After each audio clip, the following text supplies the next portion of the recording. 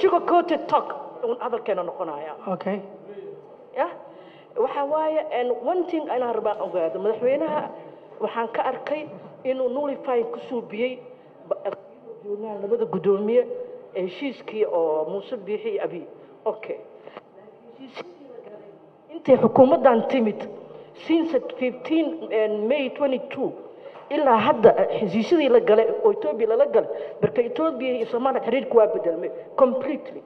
Maxaa loo tirtiri waa nullifying looga dhigi waayo waa mahadsantaha ko no i haven't finished it okay okay Ah, kan kale een, maadaama een, etoobiya nagu xadgudubtay waa meesha ugu dambaysayna tustay cadownimadeeda waxay ahayd sidii qofka hadda sheegay safaaradda irdaha in loo laabo everyone oo ethoobiyan citizen ah dalkan la siitaan uu ka baxo ciidamada ee admins iyo kuwa kale iska soo galeen xuduudo joogo la siitaan la dhaho waa inaad ka baxdaan.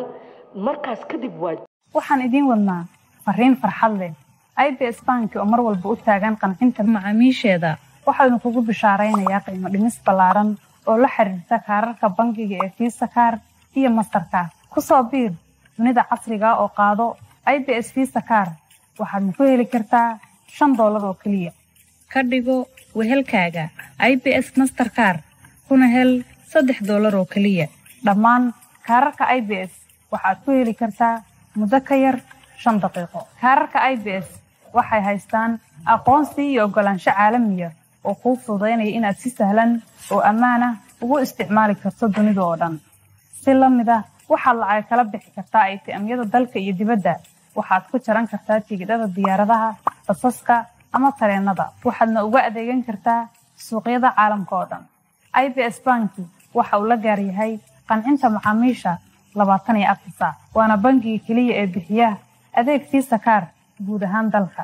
Sidoo kalena waa bangiga keliya ee bixiya adeeg mastarkaar dhammaystiran. Haddaba macmiil ka faa'iidayso qiimo dhimistan aadka u ballaaran ee aynu kuu samaynay qiimo dhimistu waxay socon doontaa muddo cayiman ee booqo.